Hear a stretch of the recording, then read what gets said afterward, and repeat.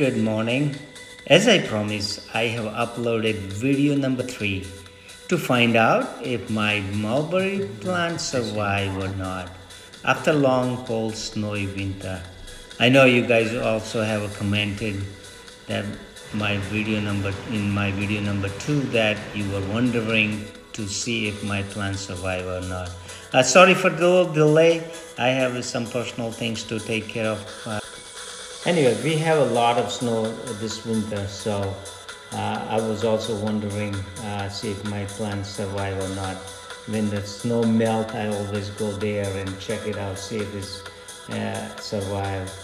So after the winter, uh, you know, I looked at and bud started coming up, and I was so happy. Look at those started coming up.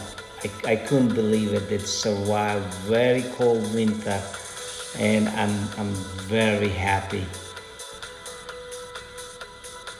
I have two plants, so both are coming up. So I'm so happy. I took more pictures, uh, so enjoy it. Yeah, more pictures means over the time. Uh, so you could see how they. I didn't get the, any fruit this year, but hoping that I will have fruits next year. And I will definitely update once I get the fruits on the those plants.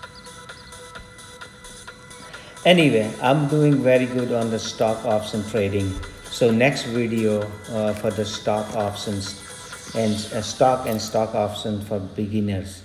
Uh, this is for the easy steps.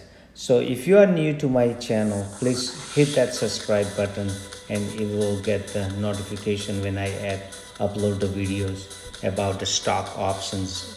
And this stock options for any countries, not for the US, but it will be the any countries. So see you soon. Bye bye.